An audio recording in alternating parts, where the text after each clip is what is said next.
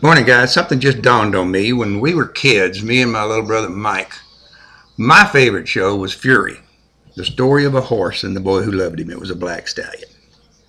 Mike's favorite show was Sky King. He was a cowboy that flew an airplane.